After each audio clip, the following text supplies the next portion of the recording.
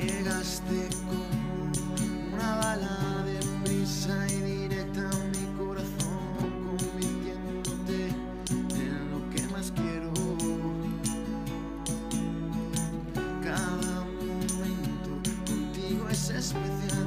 Yo no pensé que fuera real alguien que diera todo de dentro. Eres